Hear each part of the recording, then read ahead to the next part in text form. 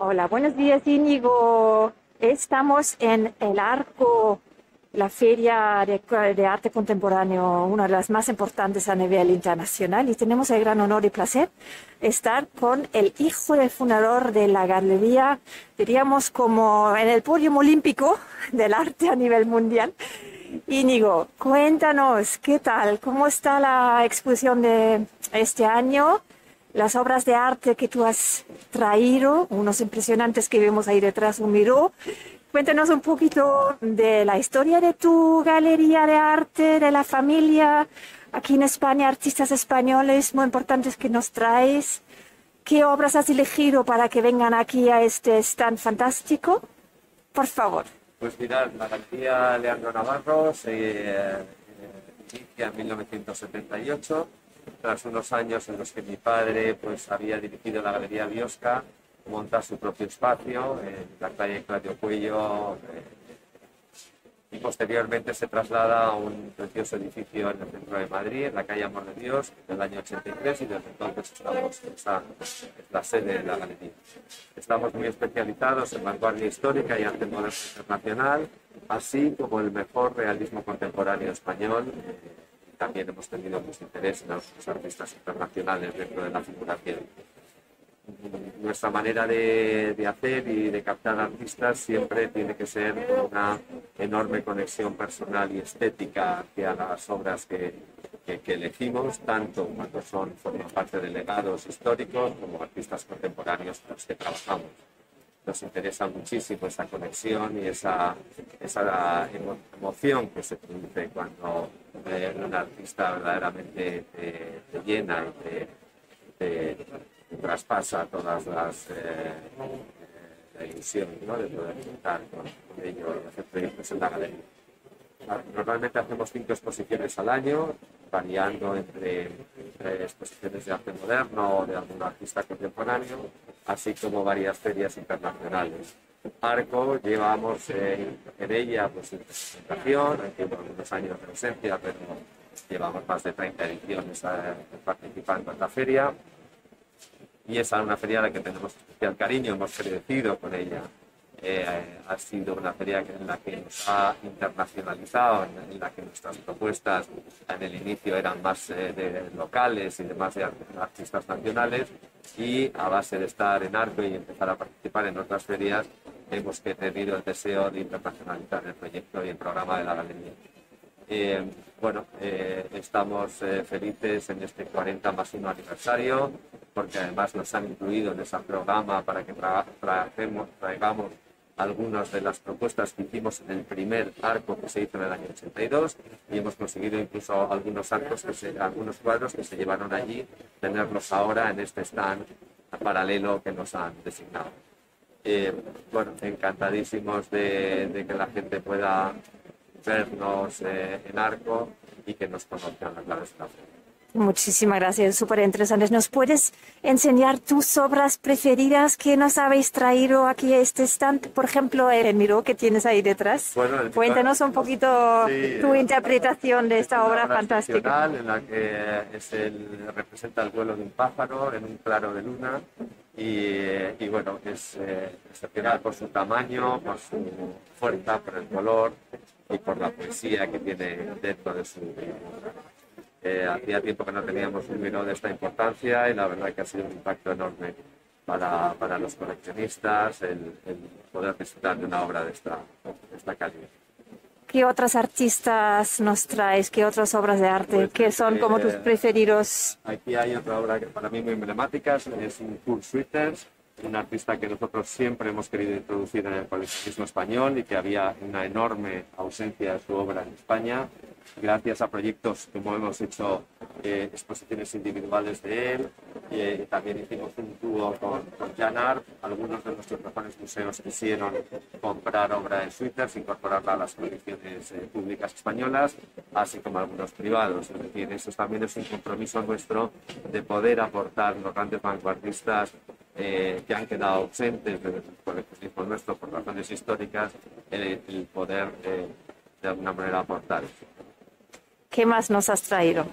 hay una, además de todo este mundo vanguardista, eh, veréis que hemos querido incorporar en el stand eh, un pintor que, me fascinó eh, durante, hace dos años en Nueva York y pude acceder a, sus obras, que es Jacob Eufanani, un artista que está teniendo verdaderamente una enorme repercusión ahora en el panorama contemporáneo. Vamos a ponerte ahí para verlo bien.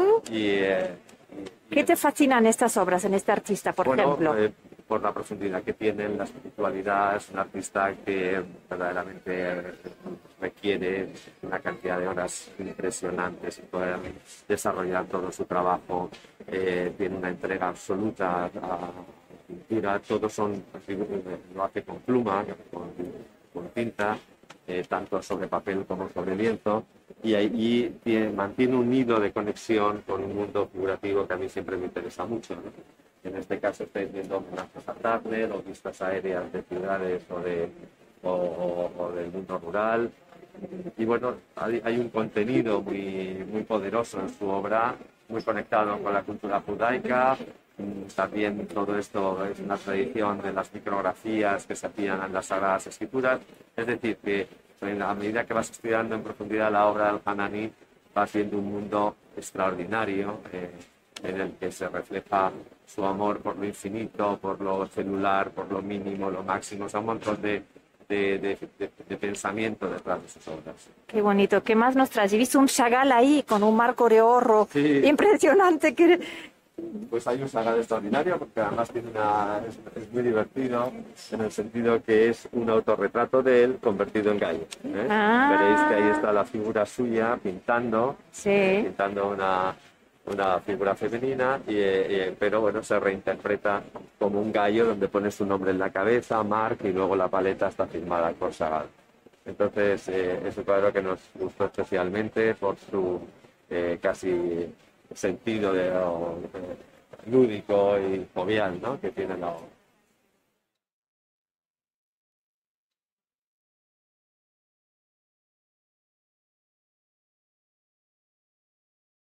Íñigo, cuéntanos. Vosotros estáis em, en las ferias más importantes de arte contemporáneo del mundo, ¿no? Entre Art Basel en Estados Unidos, en Miami, en en Asia. ¿Cuáles son para ti eh, las ferias actualmente más importantes? Siempre se decía que el mercado asiático chino iba a arrancar muy fuerte, luego, bueno, por el coronavirus, la pandemia nos ha hecho eh, sufrir a todos, pero ahora mismo, visto al futuro, cara al futuro, ¿Cómo ves tú los mercados eh, más...? Todo esto se tiene que reactivar. La, la, pandemia verdaderamente ha sido enorme en el mundo de las ferias por la posibilidad, la imposibilidad de movilizarse.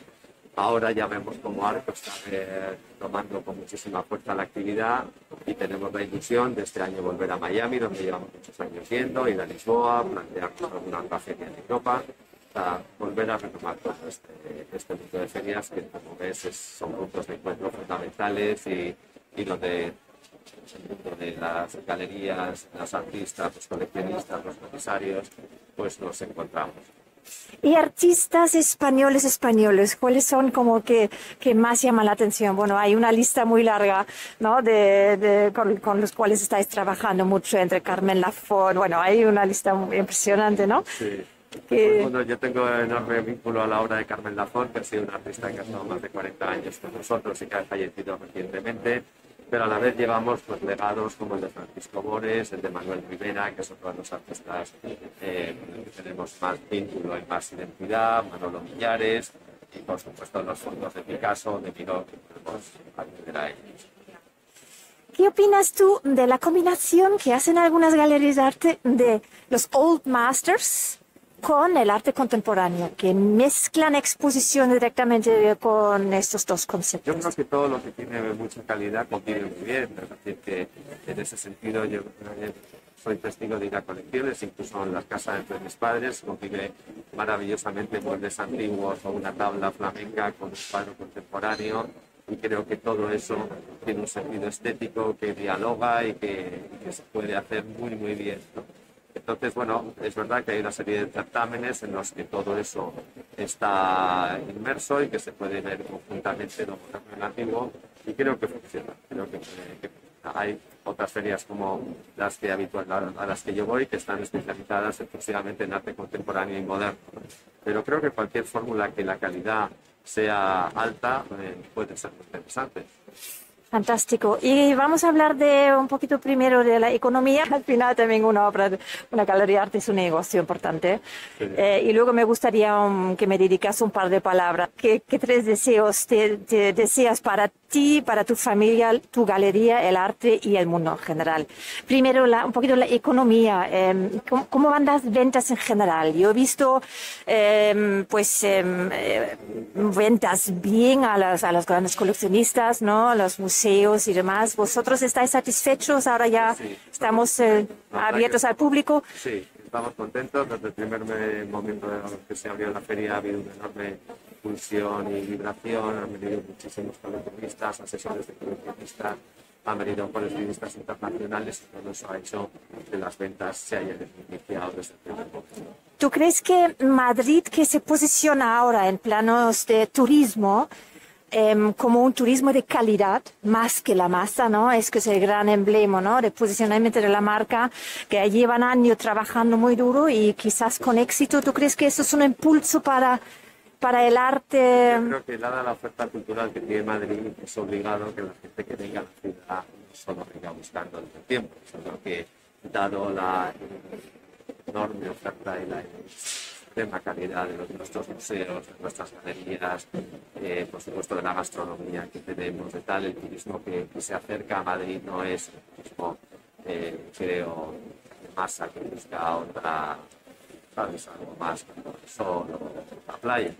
Entonces, en ese sentido, es verdad que Madrid cada vez vas viendo mayor sofisticación en los espacios, en los locales, en las, en las galerías, en las ferias tiene que ver mucho también con el mundo internacional que, que se acerca a la ciudad buscando excelencia. Sí, sí, fantástico. Bueno, ahora te dejo con las palabras finales con el duende de Navidad que quedan algunos meses, pero ya los deseos hoy como estamos en un mundo un poquito loco, de verdad, eh, que tú, de tu punto de vista, español, pero también muy internacional, moviéndote con artistas que tienen a veces también visiones y profundidades que justamente a ti te gustan, y visiones de las cosas a veces diferentes. ¿Cuáles serían las tres cosas si te vienen con deseos que, sea lo más importante para ti? Bueno, yo lo, más importante es acabar con la pandemia que nos ha tenido unos años verdaderamente extrema. Eh, ha habido un enorme muertos. Eh, una afectación tremenda en la gente mayor que se ha tenido que aislar de una manera eh, muy fuerte y que luego todo eso les está costando muchísimo recuperar, recuperar la, sus vidas y en algunos casos no han podido.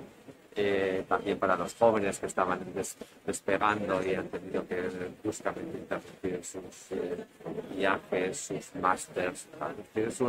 ha sido duro, eh, muy largo y ahí tengo ese enorme deseo de que esto acabe. No hablemos ya de una guerra absurda que está en viernes y que esperemos que eso quede controlado lo antes posible y que sea una cosa pequeña. Y luego, por supuesto, mi mayor deseo es que la gente eh, se mire hacia la cultura. La cultura es algo que nos llena eh, plenamente, que la gente lea, que vean exposiciones, que vayan a conciertos, que, que disfruten de, de, algo tan excelente como es el mundo del arte.